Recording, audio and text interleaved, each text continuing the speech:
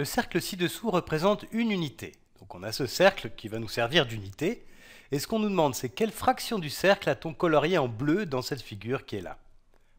Alors on va déjà observer un petit peu ce cercle unité. Donc ce cercle, c'est ce qu'on va considérer comme une unité. Et en fait, on peut voir qu'il a été divisé en trois parties égales. Une, deux, trois. Alors si je prends par exemple cette partie-là ici, celle-là,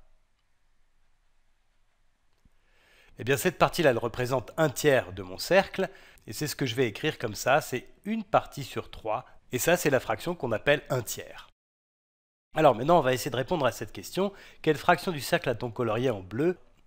Alors ici en fait on a deux cercles, chaque fois c'est le même, et chacun de ces deux cercles est euh, divisé en trois parties égales. Donc comme au-dessus, chaque partie représente un tiers du cercle. Alors cette partie-là, c'est un tiers du cercle. Celle-ci, c'est aussi un tiers du cercle. Et en fait, je vais m'occuper uniquement des parties coloriées en bleu. Donc ici, j'en ai une autre qui représente un tiers du cercle. Là, j'ai encore un tiers du cercle. Et puis ici, encore un tiers du cercle. Alors en tout, en fait, j'ai colorié un tiers, deux tiers, trois tiers, quatre tiers, cinq tiers du cercle. C'est ce que je vais écrire comme ça, la fraction du cercle qui est colorié en bleu, c'est 5 tiers.